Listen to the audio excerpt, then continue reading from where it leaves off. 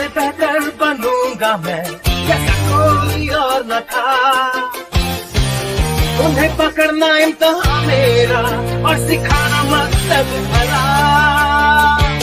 इस सफ़र पर निकला मैं। घूमूँगा चारों दिशा। हर पोकेमोन की शक्ति है खास। जिसमें